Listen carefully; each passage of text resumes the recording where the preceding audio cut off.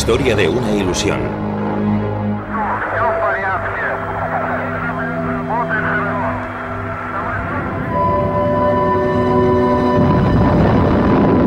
El colapso.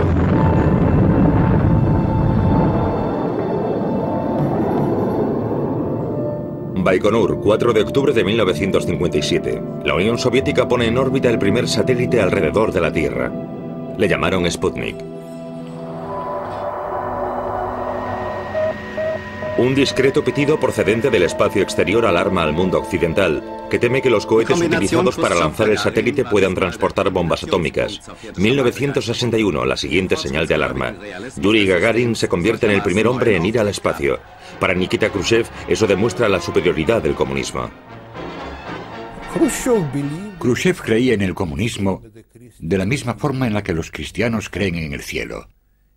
Decía que podíamos construir una sociedad muy efectiva.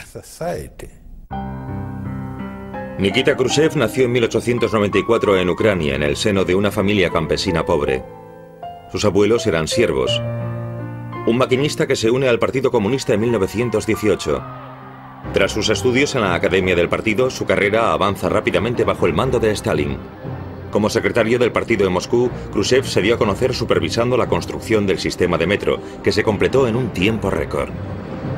Participa en el terror de Stalin y se une al corazón del poder, el Politburó del Partido Comunista de la Unión Soviética, el PECUS, en 1939. Como comisario político del partido con el rango de general, juega un papel importante en la batalla de Stalingrado durante la Segunda Guerra Mundial.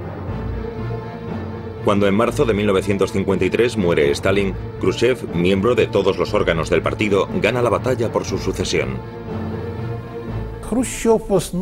Khrushchev no era el prototipo de ciudadano ruso. Si quieres ser un líder como Mao o Stalin, no debes hablar. Tienes que hacer acto de presencia una vez al año, decir algo que nadie entienda, para que luego todos discutan lo que tú tienes en mente porque eres más listo que los demás. En el vigésimo congreso del partido en 1956, Khrushchev sorprende a todo el mundo denunciando los crímenes de Stalin. Se liberaron y rehabilitaron cientos de miles de prisioneros del archipiélago Gulag. La segunda parte de la revolución de Khrushchev fue su negativa a participar en la explotación sin límite de su propio pueblo. Stalin Stalin creía que el pueblo soviético debía ante todo producir y no consumir. El consumo era considerado burgués. Khrushchev legitimó el consumo. Nikita Khrushchev quería mejorar el nivel de vida general. Hizo lo posible porque se incrementase la producción en todos los segmentos. Fomentó el cultivo de nuevos campos para uso agrícola en todas partes. Khrushchev intentó no solo alcanzar los niveles americanos, sino superarlos. El maíz comunista doblaba en tamaño al maíz capitalista. Dijo a los estadounidenses en uno de sus discursos, vais por delante de nosotros, sois más efectivos. Vamos a aprenderlo todo de vosotros y luego o os unís a nosotros o os diremos adiós. Khrushchev tenía un don natural. Tenía una memoria fantástica y comprendía lo que estaba sucediendo con mucha rapidez.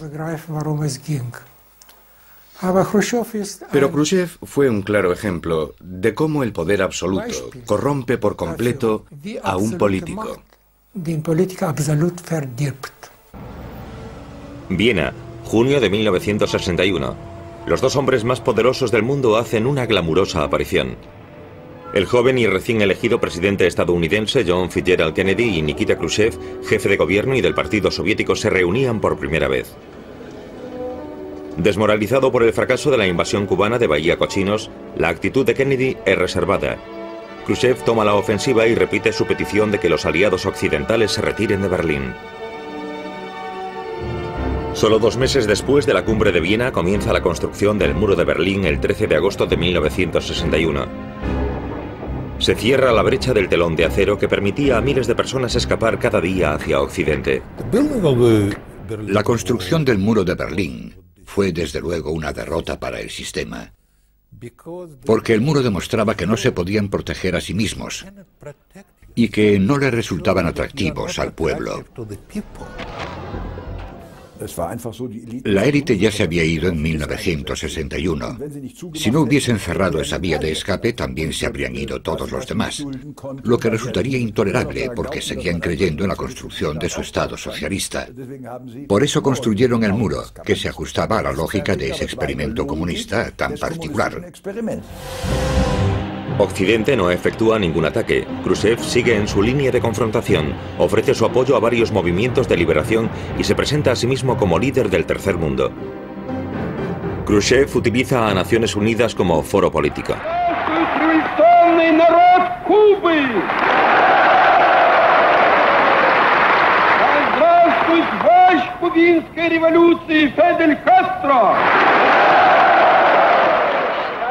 La política de boicot estadounidense conduce a Cuba al rincón comunista. Khrushchev is good friend, good Cuban friend. Your leaders speak about aggression to Cuba. Khrushchev speak about defending Cuba. You to take our plane. Khrushchev plane is our plane. Khrushchev is friend. Khrushchev quería ser respetado como un igual y presionó a todos los presidentes norteamericanos el presidente Eisenhower, el presidente Kennedy. Fue una de las razones de la crisis de los misiles en Cuba. Quiero ser un igual. Y los norteamericanos no querían hacerlo voluntariamente. Por lo tanto, lo hicieron bajo la presión de Khrushchev.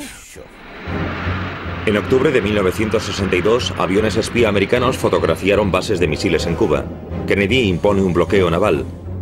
La crisis se intensifica. Ambas partes se preparan para una guerra nuclear. El mundo está al borde de la aniquilación. En el último instante, Kennedy y Khrushchev logran llegar a un acuerdo secreto.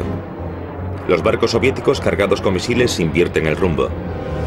A cambio, Estados Unidos accede a retirar sus misiles nucleares de la frontera turco-soviética en un plazo de seis meses. El peligroso silencio entre los dos líderes se salva gracias a la instalación de una línea de telex, el famoso teléfono rojo. Las figuras más poderosas del mundo se dedicaban una vez más a juegos pacíficos.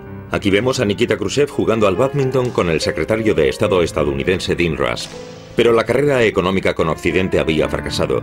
Khrushchev reconoce que una economía controlada centralmente es demasiado difícil de manejar. Sus ambiciosos proyectos políticos no tuvieron éxito. Tras una sucesión de fracasos en la agricultura, Khrushchev se ve obligado a comprar trigo al enemigo capitalista. Perdió prestigio. No quiero decir que Khrushchev perdiese prestigio personalmente, pero la Unión Soviética sí. Muchos miembros del partido de la denominada democracia del pueblo sentían lo mismo. Y creo que esa fue una de las razones por las que fue destituido. Entonces fue cuando comenzaron las reformas. Quería la descentralización y proporcionarles la mayor parte del poder a los dirigentes y reducir sus relaciones con el Estado solo mediante el pago de impuestos. Podría haber sido un primer paso hacia la economía de mercado. ¿Ingenieros? ¿Fábricas en la Unión Soviética? Imposible. Esa idea de un plan centralizado, donde se suponía que debíamos planear las cosas hasta el último detalle, era completamente absurda.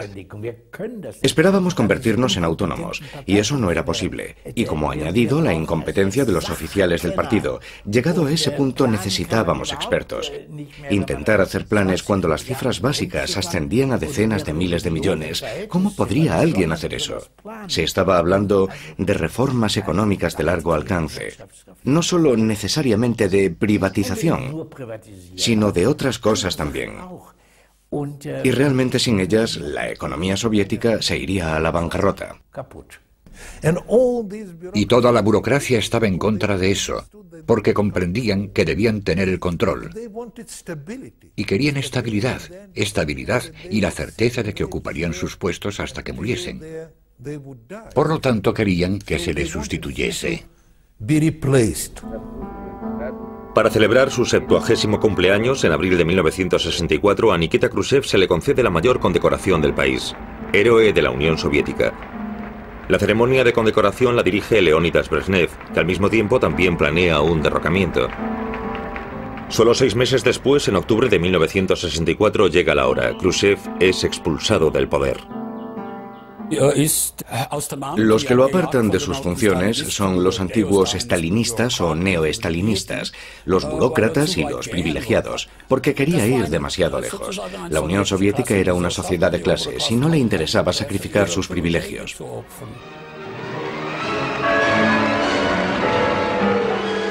Leonidas Ilyich Brezhnev es el nuevo y poderoso líder. Nacido en 1906 en Ucrania, hijo de un trabajador de la siderurgia, toma el clásico rumbo de convertirse en un oficial del partido. Después del derrocamiento de Khrushchev, es nombrado secretario general del Partido Comunista. Brezhnev redime a Stalin y garantiza puestos y privilegios. Su poder se basa en la máquina del partido y en el ejército. Restituye y extiende la presencia militar soviética en África y en Asia.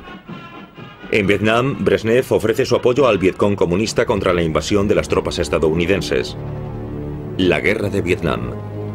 El constante bombardeo estadounidense y la elevada cifra de víctimas civiles vietnamitas provocan protestas en todo el mundo.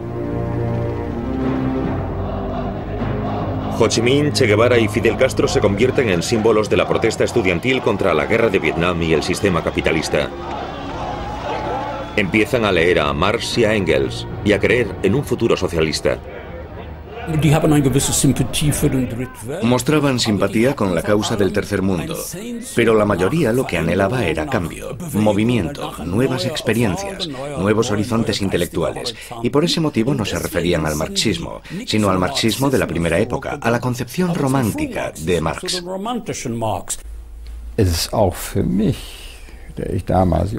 Para mí fue un fenómeno. Entonces era joven.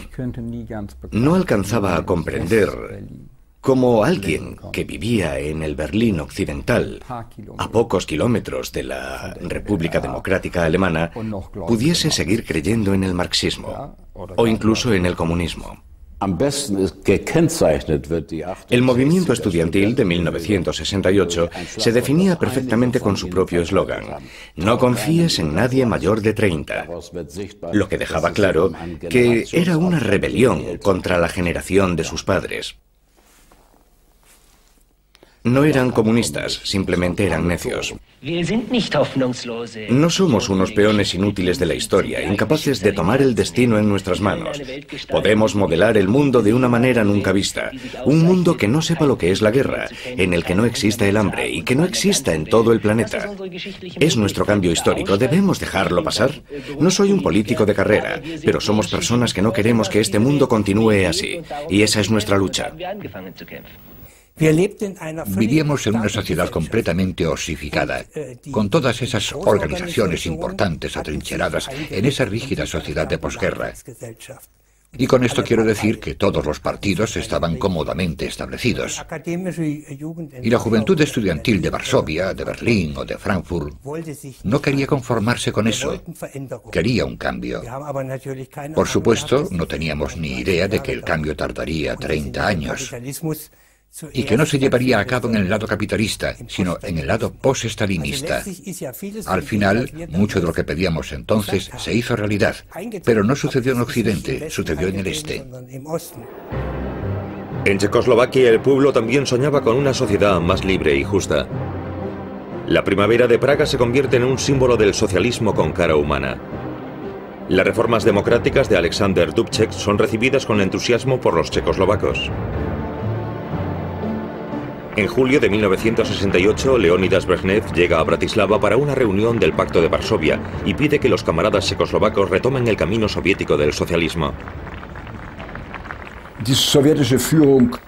Los líderes soviéticos luchaban rigurosamente contra cualquier intento de los estados satélites, que era como se les llamaba entonces, por desligarse del bloque, y no toleraban nada que pudiese poner en peligro el comunismo en su doctrina pura. Brezhnev, que era contrario a cualquier reforma, y que temía que si algo cambiaba afectaría a la Unión Soviética, intentó paralizar esas cosas. 21 de agosto de 1968. Las tropas del Pacto de Varsovia entran en Praga. El gobierno checoslovaco condena la invasión como una violación de las leyes internacionales, pero no obstante dice al ejército y al pueblo que no opongan resistencia. Pero el pueblo hace frente a los tanques. La primavera de Praga finaliza de forma violenta. De manera retrospectiva, la Unión Soviética justifica sus actos con la doctrina de Brezhnev, el deber común de todos los miembros del Pacto de Varsovia de defender el socialismo. Tras la ocupación soviética de Checoslovaquia en 1968, escribí e hice público que ese era el inicio del fin del sistema soviético, porque eso significaba que ahora era un sistema basado enteramente en la fuerza militar y en la represión burocrática. No se debería olvidar nunca, aunque algunos lo hagan hoy en día, que la Unión Soviética tenía un enorme arsenal de armas nucleares. Eso significa que todas esas críticas contra Occidente por no intervenir ante unos crímenes tan horribles deberían tener en cuenta que esa intervención terminaría con una guerra mundial y con la muerte de millones de personas. Existía un peligro y todos vivíamos conscientes de ese peligro. Y era enormemente importante mantener una postura, una postura militar que no les proporcionase a los líderes soviéticos ni el más remoto grado de confianza en que pudiesen ganar una guerra nuclear. Ambas superpotencias contaban con armas nucleares capaces de destruir el mundo varias veces. Un país no podía atacar al otro sin el riesgo de su propia caída. Esa superabundancia de armas se denominó la balanza del terror, y se suponía que su fin era garantizar la paz durante la Guerra Fría. La mayor concentración de armas se encuentra en los dos estados alemanes, el campo de batalla nuclear más apropiado. El nuevo gobierno alemán bajo el mando de Willy Brandt estudia las posibilidades de terminar con la confrontación entre los sistemas. El comunismo se basa en dos pilares. El primero es el poder militar, tanques y misiles. El segundo es la ideología. Son los medios para evitar que todo se derrumbe. Por lo tanto, si se quiere hacer algo respecto al sistema soviético, hay que asegurarse de que el primer pilar no es o ya no será peligroso, es decir, reducción de armas, restricción y eliminación de armas para reducir o eliminar el factor amenaza. Y el segundo factor, la ideología, es algo de lo que solamente los socialdemócratas se pueden encargar. Y eso constituía la base hipotética sobre la que actuábamos. Pero Billy Brandt decía, Tenéis que guardar silencio. No podemos permitir que nadie de fuera sepa que tenemos esta concepción en mente. De no ser así, dirían, están locos y no son consecuentes.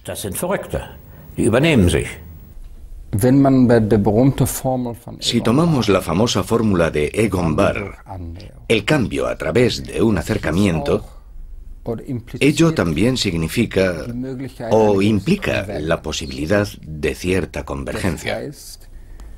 En otras palabras, una primavera de Praga exitosa. El socialismo se volvería más humano y el capitalismo también se volvería más humano. Y creo que esta concepción animó a personas como Gorbachev, porque también creían en ello a su manera. Esto quiere decir que la Ostpolitik, en cuanto a todas sus ilusiones, fue provechosa y aumentó las ilusiones útiles de Gorbachev. La Ostpolitik también significa reconciliarse a un nivel personal, algo que se demostró abiertamente en el verano de 1971. Leonidas Brezhnev y Billy Brandt se mostraron al mundo en un relajado viaje en barco por el Mar Negro. Ambas partes perseguían intereses diferentes. La Unión Soviética buscaba la ratificación de las fronteras de la posguerra. El negociador alemán Egon Bahr quería concesiones humanitarias, sobre todo para el pueblo de la RDA se firman los tratados del Este, un exitoso equilibrio de intereses, incluso más allá de las fronteras ideológicas. Después de sus charlas con Brezhnev, Brandt comprendió que en términos de ideología, básicamente eran cínicos. Ya no eran creyentes auténticos. Pero, por supuesto, utilizaban su ideología como un instrumento de poder un instrumento de dominación, un instrumento de disciplina. En China, Mao Zedong hace cumplir su culto personal. La ambición de Mao convierte a China en el rival principal de la Unión Soviética dentro del bloque socialista. Ambas partes se acusan mutuamente de traicionar al comunismo. En el río Usuri, en la frontera chino-soviética, los dos hermanos socialistas se apuntan mutuamente con las armas. Mao y los chinos pensaban que eran más grandes y que su sangre revolucionaria fresca les permitiría ser los líderes del mundo comunista. Y repito que el comunismo en aquella época no era más que una etiqueta. Era una lucha por ser el líder del tercer mundo. Mientras la política exterior de Mao se afana por conseguir el papel dominante en el tercer mundo, el Partido Comunista Chino le desafía. Él moviliza al pueblo contra los funcionarios del Partido Comunista. Su reforma económica fracasa. Hay que pensar en ello como una guerra civil gigante. Por supuesto se llevaron a cabo uno o dos juicios públicos, pero se trató de una guerra civil con masacres horribles, y también otros juicios menores, no comparables con los juicios de Stalin, y en cierto modo algo incluso más brutal que lo que sucedió en Moscú. Tras la muerte de Mao Zedong, en China se produjo otro cambio radical. Deng Xiaoping logró triunfar allí donde fracasó Nikita Khrushchev después de la muerte de Stalin. Con la lenta introducción de zonas empresariales libres, Deng llega a descentralizar la economía de acuerdo al modelo de la economía de mercado. Al mismo tiempo, el Partido Comunista se aferra a su poder.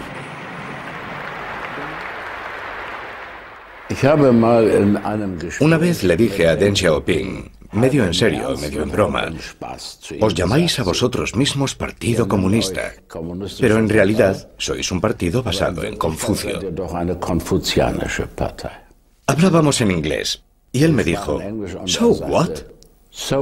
Lo que seguramente quería decir que no le importaba. En la Europa occidental, los comunistas también volvían la cara a la Unión Soviética como modelo. El Partido Comunista Italiano, bajo Enrico Berlinguer, se muestra particularmente firme a la hora de mantener su compromiso con la democracia parlamentaria. En algunas sociedades europeas, los comunistas se dieron cuenta con naturalidad de que no tendrían éxito si se les veía como simples compañeros de viaje o accesorios de Moscú. Y por ello intentaron encontrar una dirección nacional que en una sociedad europea occidental debía ser diferente a la del imperio soviético. Era importante ser más autónomo, más independiente, tener una visión propia de la democracia y del socialismo. Y eso constituía un rechazo implícito de los dogmas de la Unión Soviética y del denominado socialismo verdadero. Los comunistas franceses, bajo la dirección de Georges Marchais, continúan su adhesión a la dictadura del proletariado. Resultado, el Partido Comunista francés se vuelve inconsecuente. Estábamos convencidos de que la única consecuencia, la posible consecuencia de desligarnos de la Unión Soviética era unirnos a la socialdemocracia. Helsinki, agosto de 1975. La Conferencia sobre la Seguridad y Cooperación en Europa, conocida por las siglas CSC. Esta conferencia cambiaría el mundo. Brezhnev había alcanzado un objetivo clave post-1945 en la política exterior soviética todos los Estados miembros de la OTAN reconocen sus fronteras de la posguerra por un precio que no le parece demasiado alto. Una de las intenciones de la Ostpolitik y de la Entente, y ciertamente no la menos significativa, era crear en el este y para el este un espacio para respirar y un poco de libertad para debatir. Eso se llevó a cabo con el acta final de Helsinki. Eso debilitó los sistemas, porque de repente todo el mundo aprobaba el paquete completo de declaraciones y cosas que en realidad iban contra su naturaleza. Tras años de preparación, 35 líderes de Estado y de Gobierno firman el acta final de la CSC. Su principio, reconocimiento y seguridad de las fronteras a cambio de garantizar los derechos humanos. El texto del tratado debía publicarse en los periódicos con todos los países signatarios. Esta condición permitía a los ciudadanos de cualquier lugar leer el catálogo de derechos que su país se había comprometido a mantener. Eso significaba que el pueblo podía remitirse a esos documentos una vez que habían sido publicados en los periódicos. Todos los movimientos de derechos civiles y disidentes se basaban en ellos o abandonaban después de Helsinki 1975. Con respecto a los disidentes, yo diría para empezar que el análisis que hicieron en los años 70 fue acertado, lo cual asumía que el comunismo no se podía reformar desde arriba y que solo se podía destruir desde abajo. Destruir a través de una evolución pacífica. A lo largo de todo el bloque del Este, el pueblo hizo rápidamente uso de los nuevos derechos otorgados en el acta final de Helsinki. En Checoslovaquia, un grupo de disidentes que rodean a Jiri Hayek y a Václav Havel firman la Carta 77, en la que hacen públicas sus peticiones. La reacción de los poderes comunistas es la represión. El número de prisioneros políticos aumenta. Después de Helsinki, la opinión pública observa con mucha atención cómo trata el aparato del Estado a los disidentes. Los arrestos y el exilio llegan sin previo aviso, especialmente el de los activistas de los derechos humanos conocidos internacionalmente. La KGB intenta aislar del mundo exterior al premio Nobel de Física Andrei Sakharov. El escritor Alexander Solzhenitsyn es expulsado de la Unión Soviética. Las críticas públicas al sistema no están permitidas bajo el gobierno de Brezhnev. Los rusos llaman a esta época los años pesados, pero fue una época en la que incluso el ruso medio gozaba de cierta modesta riqueza y podía recoger frutos de la civilización, tales como un frigorífico, una radio, un televisor, incluso un coche. Pero al final del periodo de Brezhnev era difícil no notar el desfallecimiento. El sistema no funciona. Ya no suministra esos modestos artículos de lujo y ahí está Afganistán. Afganistán, 1979. Cuando el régimen comunista amenaza con colapsarse, los tanques soviéticos se ponen en movimiento una vez más. La invasión del ejército soviético se condena en todo el mundo como un acto de agresión. Se reanuda el enfrentamiento entre este y oeste. Los costes enormes que conlleva la guerra arruinan la economía soviética. Los estadounidenses, bajo la presidencia de Carter, comienzan a desarrollar sobre una docena de nuevas tecnologías militares. Y nosotros reaccionamos con nuestros propios programas. El presupuesto para la sanidad se recortó en un 40%. Los gastos para cultura, escuelas, etcétera, en un 30%. Ahí fue donde comenzó la agonía de la sociedad y del Estado. Hacer cola se convierte en una ocupación a jornada completa. Incluso el abastecimiento más básico supone un problema. Hay estanterías vacías por todas partes. La economía de la escasez paraliza todo el bloque del este. Mientras la informática hace estallar la tercera revolución industrial en Occidente, los líderes soviéticos intentan aislar al país de cualquier influencia externa. Ya se quejaban de que en Occidente cualquier chico podía jugar con un ordenador, mientras que ellos, solo tras muchos exámenes y con más edad, podían entrar en contacto con las máquinas. La integración de la informática en la vida cotidiana, por no hablar de la militar, que había en Occidente, no existía para ellos. Eso requería un espíritu de libertad. Una sociedad moderna, y la sociedad rusa era al fin y al cabo una sociedad moderna, no permite que le den órdenes continuamente. Y las reglamentaciones y las imposiciones eran la esencia del brezhnevismo. A finales de los años 70 surge la resistencia en Polonia contra el gobierno. Los trabajadores hacen huelga. La resistencia en Polonia tenía mucho que ver con la fuerte posición de la Iglesia Católica y también con la particularidad de que los polacos tenían un obispo que había sido elegido papa. En 1979 el Papa Juan Pablo II visita su país natal. Allí a donde va lo recibe una multitud entusiasta.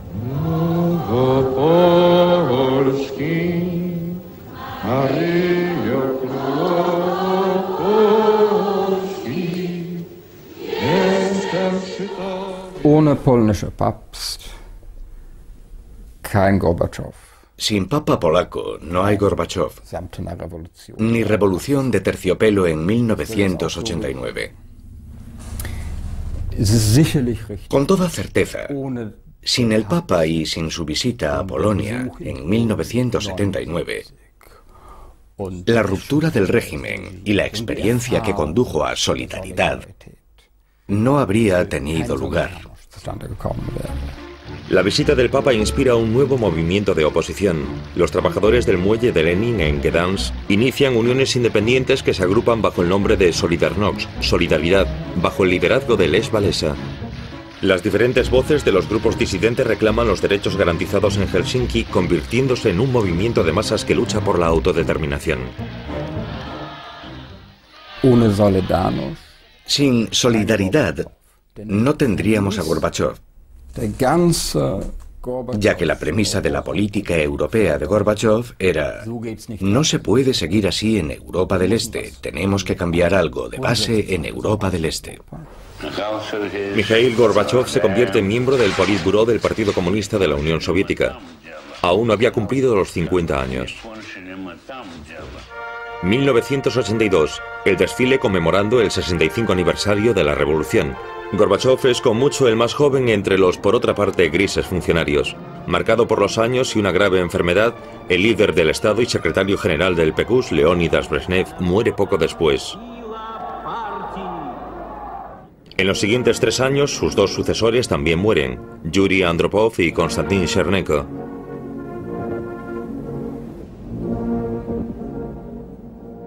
La elección de un Mikhail Gorbachev de 54 años como secretario general parece liberadora.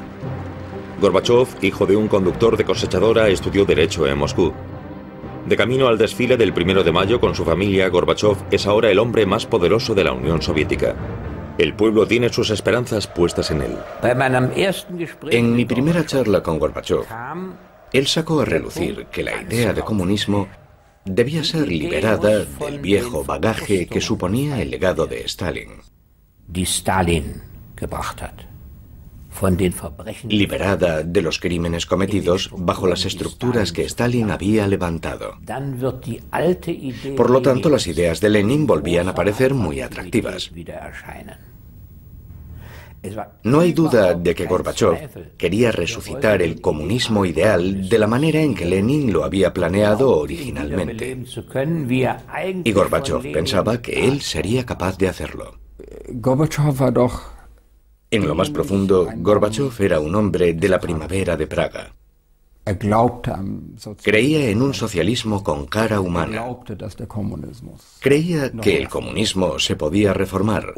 Y sin esa ilusión seguramente no habría llegado tan lejos.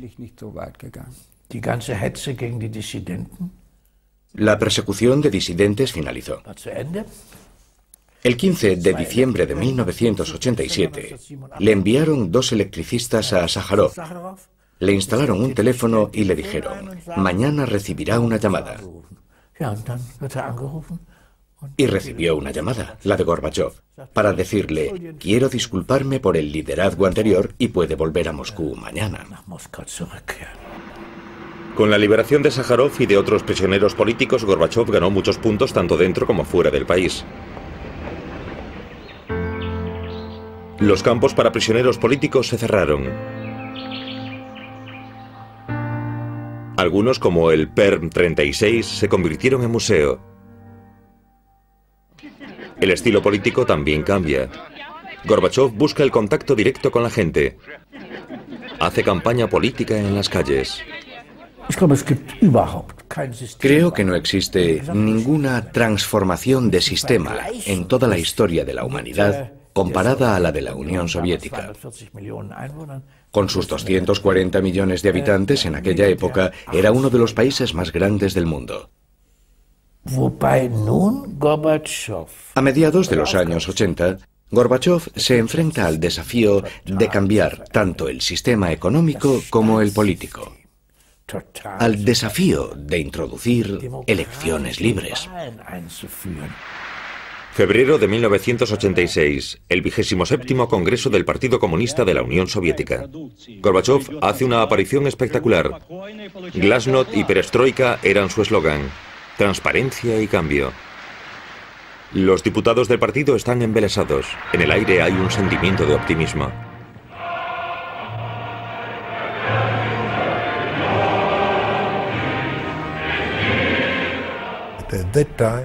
En aquel momento Gorbachev era el mejor de nosotros. Acabó con la Guerra Fría, redujo la amenaza nuclear. Fue un gran cooperador y opositor. Fue el último bolchevique del siglo XX. El presidente Reagan quería lo mismo y era un anticomunista muy motivado ideológicamente. Con respecto a Reagan, era un anticomunista inflexible. Inflexible en cuanto que pensaba, tenemos no solo la responsabilidad, sino también la oportunidad de acorralar a la Unión Soviética en una carrera armamentista hasta que empiece a chillar. Y eso fue lo que hizo. Pero fue lo suficientemente listo como para hablar como un guerrero frío y tomar decisiones como un político de la entente.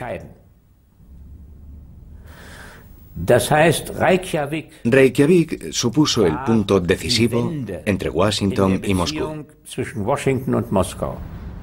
Con entusiasmo y rapidez, Gorbachev avanza en su política exterior.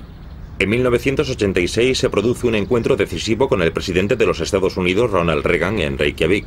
Uno de los principales problemas del gobierno soviético es la presión feroz de los Estados Unidos para que se modernice. Tras años de carrera armamentística comienza a hablarse en serio de una reducción de armas. Reykjavik es solo el comienzo del amplio recorrido diplomático de Gorbachev. Es un virtuoso de la escena internacional, sobre todo de Naciones Unidas. Con sus propuestas para la reducción de armas fuerza la decisión del presidente de los Estados Unidos. Pero Mikhail Gorbachev también se encuentra bajo presión. Debe sanear el presupuesto de su gobierno eliminando unas armas decisivas y los gastos bélicos. Sí, Afganistán. Desde 1979, las tropas soviéticas estaban involucradas en una guerra injustificada y agresiva al ocupar Afganistán. Las palabras de Gorbachev todavía resuenan hoy en día. Afganistán es una herida abierta. Lo que el secretario general estaba diciendo era lo siguiente.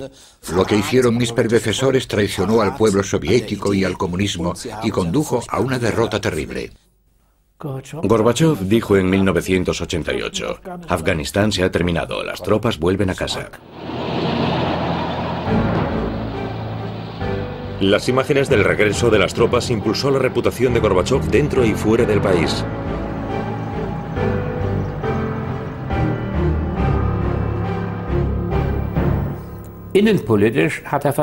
Fracasó en términos de política interior. Tenía que ser así. Porque no existe ningún libro de texto que diga cómo convertir una economía manejada por el Estado con muchas dificultades en una economía social de mercado. Pronto nos dimos cuenta de que no tenía un sistema, un programa. Su tesis era, ataca primero y mira luego alrededor. Y después dijo, es lo que dijo Lenin una vez.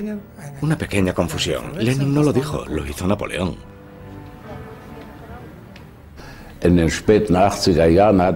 A finales de los 80, Gorbachev me invitó a que hablásemos. Le dije que debía tener cuidado con su política monetaria y con el incremento del volumen del dinero.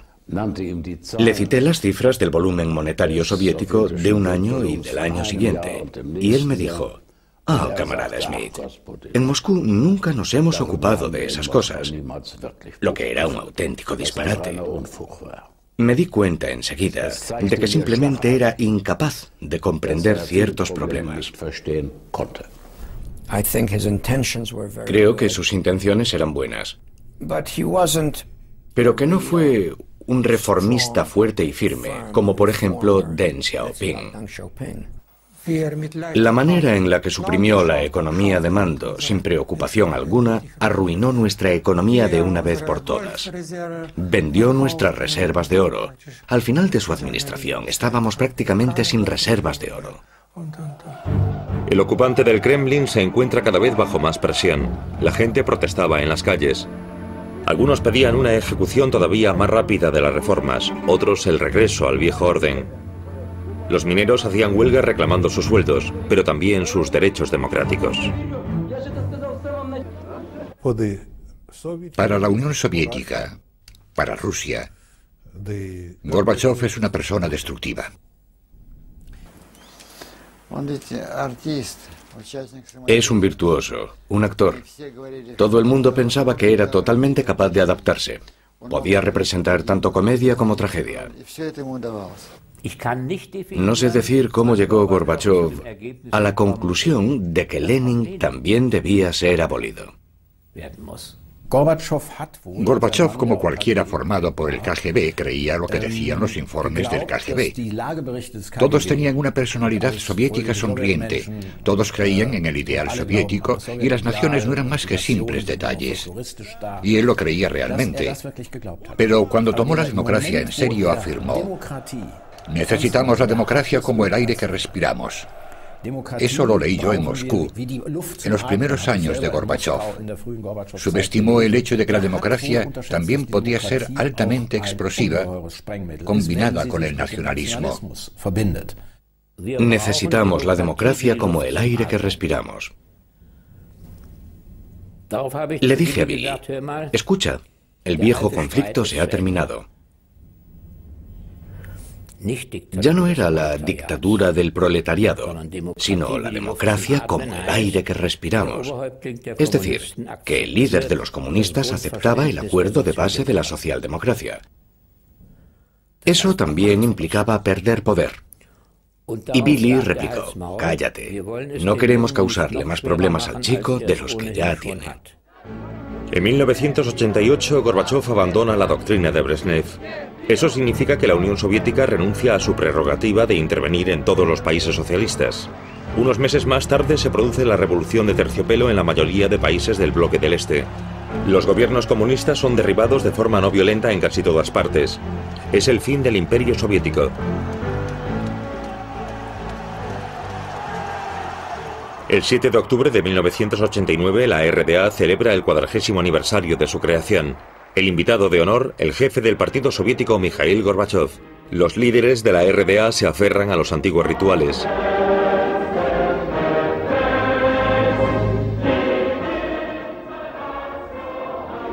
Pero en las calles se forman protestas. Aquí también Gorbachev es un faro de esperanza.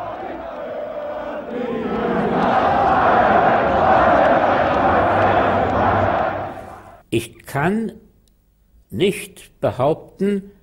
no puedo decir que sintiese algo diferente al resto del país o al resto del mundo. En aquella famosa tarde del 9 de noviembre de 1989, me fui a casa porque no sucedía nada en el Parlamento alemán. Una agenda aburrida. Y me sorprendí cuando encendí la televisión y vi a la gente bailando en el muro. Entonces sonó el teléfono. Era Billy llamando del Parlamento y preguntando, ¿sabes lo que está pasando? Sí. Sorprendido, ¿verdad? Sí. ¿Esperabas algo así? No. Un mes después cae el muro de Berlín. Gorbachev no quería entregar su imperio comunista, no era un traidor. Gorbachev era comunista, pero no tenía un concepto claro y efectivo de cómo reformar el comunismo. Por ello acabó siendo el rey asediado que abre sus puertas al enemigo. Una cosa hay que reconocerle. Fue diferente de Pedro el Grande, diferente de Lenin, diferente de Stalin. No era una persona despiadada. Y por ese motivo, Mikhail Gorbachev evitó millones de muertes. Deberíamos estar agradecidos, aunque no haya sido un gran hombre de Estado. Creo que nuestra actitud hacia Gorbachev fue ambigua. Por una parte, nos enfrentamos a él e intentamos que entrase en razón. Y por otra parte, seguíamos creyendo en él. Pagamos un gran precio por ello, sobre todo nuestra patria. Por supuesto que no fue un gran hombre de Estado. No se puede decir que fuese un gran hombre de Estado, ya que destruyó su propio país. Es una figura trágica. Pero si miramos a esa época, cuando las circunstancias del país lo llevaron a acercarse a una revolución, es difícil decir quién lo habría hecho de otra forma. El Estado ruso podía permanecer poderoso u omnipotente solo mientras la población se identificase con el Estado y sus valores. En cuanto la población volvió la espalda a los valores de su propio Estado, se derrumbó como un castillo de naipes. Ese fue el caso en 1917 y lo fue también en 1991. Moscú, 19 de agosto de 1991. Los tanques circulan por las calles. Miembros del servicio secreto y funcionarios del viejo comunismo intentan un golpe contra Gorbachev. Boris Yeltsin, el primer presidente ruso elegido libremente, pide al pueblo que resista. El golpe fracasa. El secretario general Gorbachev se ha salvado, pero ahora es Boris Yeltsin quien lo dirige todo. Un día después del fallido push, Ucrania declara su secesión de la Unión Soviética. Las demás repúblicas la siguen. La Unión Soviética se disuelve. Вот Борис Николаевич мне сейчас, когда уже мы встретились, он дал краткое изложение заседания Кабинета министров, но я его еще не читал.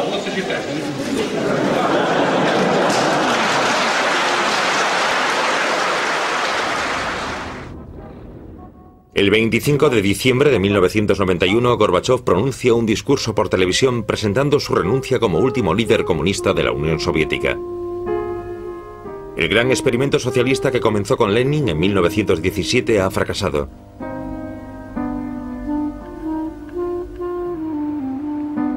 La bandera roja que ondea sobre el Kremlin es retirada. ¿Ha vencido el capitalismo para siempre o el comunismo todavía tiene futuro?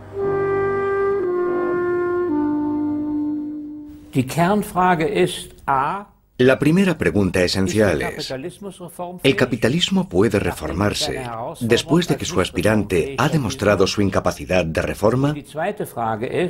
Y la segunda pregunta esencial, considerando el hecho de que estamos en medio de un desarrollo que afecta a todas las sociedades industriales, en las que las máquinas cada vez necesitan menos gente para producir más y más, ¿Cómo se puede escapar de esa situación sin dañar o destruir el sistema?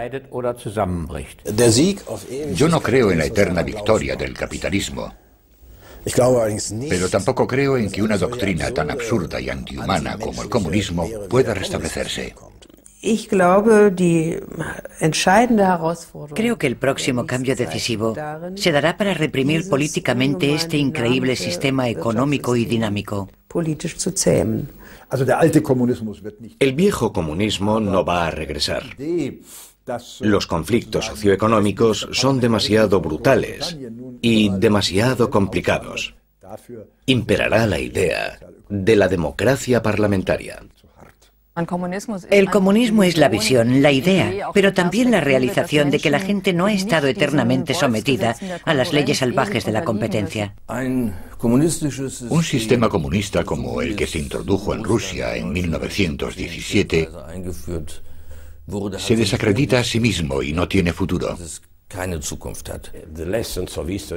Las lecciones de historia han sido tan duras Creo que nadie puede insistir en esas posiciones y en esas ilusiones. No le veo futuro al comunismo como ideología, para que pueda representar las bases de movimientos sociales y políticos significativos, particularmente en Europa. Pero la idea de la igualdad de las personas existirá en nuestras almas para siempre. La idea de igualdad no procede del comunismo, sino de la Revolución Francesa, que se remonta a más de 200 años antes. La idea de igualdad siempre fascinará a las personas, pero si se consideran comunistas por ello, ya estamos hablando de una cuestión completamente diferente.